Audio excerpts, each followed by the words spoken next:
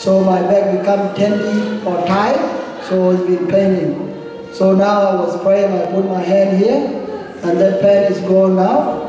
And the other thing, I have uh, short-sighted, I don't see in distance.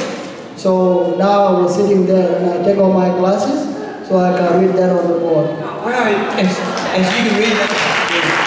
And, and so, and so without your glasses, you couldn't read that.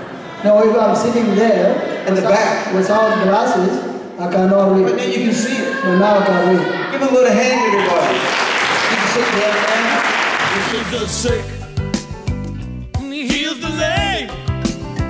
And it says you can heal them too in Jesus' name.